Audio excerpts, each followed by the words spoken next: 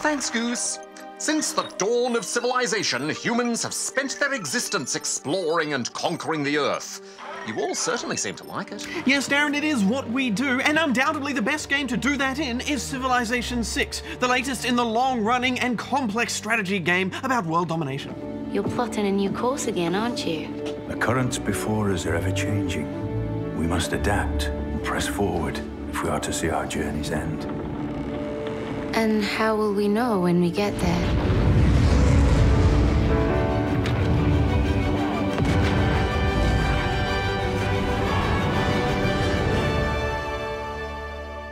If you've never played a Civilization game before, it's basically a turn based empire simulator. You pick a world leader from history, then sit back and try to be the best civilization on Earth. And there are a few ways to win. You can have the most culture and tourism by building world wonders or having great people. There's also a religious victory if you convert the whole world to follow your religion. Or a science victory if you manage to get out into outer space. And of course, there's domination, where you go to war and conquer. Ah, yes, war never changes, Darren. I spent most of my first playthrough at war with England.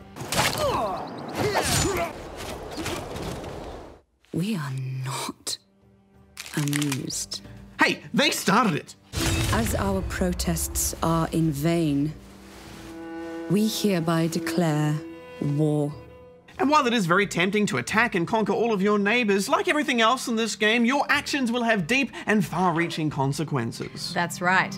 If you wage war too much, other civilizations will label you a warmonger, which makes it trickier to deal with them diplomatically. And it can really set your civilization back. Although, one of the new features in Civ 6 is the casus belli system, where you can justify going to war in certain situations.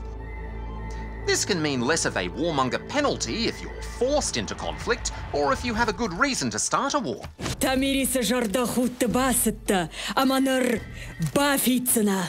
Yes, in fact, there are quite a few new features and changes, which is actually a big deal, because the last game, Civilization 5, was near perfect, and it got more perfect with every single update. The biggest change is districts. Now, as you plan out your city, you physically place certain buildings on tiles on the map. It sounds like a simple addition, but it actually makes your decisions much more permanent and trickier. You give up land and resources to place a district, but once it's down, it's down for good. The purpose of districts, and many other changes in the game, is to make you focus more on each particular city and its purpose. It's about specialising more and cloning less. Yes, I think you're right, Darren. In other Civilization games, I found I would always just make the same city over and over again. So I think this is to stop ICS, or Infinite City Spread, where you just clone the same city. Now, to be successful, I think you really do have to focus and specialise with every single city you build. There's a lot to think about, and it can be quite daunting at first. Well, that's true, Bajo, but there are a lot of guides online, and really the easiest way to learn is to just play on some of the easier difficulties and try things out. It's actually a very easy game to play, it's just difficult to master. Oh, I was impressed with the new visual design. The game looks and feels a bit more like a board game now. You even place cards down for bonuses, and the way units move about and fight is quite pleasing to the ocular circuits. I did have some trouble with rogue barbarians, though. Here I was building my civilization in peace, and those ruffians kept storming into my cities. Yes, you really do have to watch out for those barbarians now. Yeah, they're so mean. And if you ignore them, they just keep building more and more advanced units.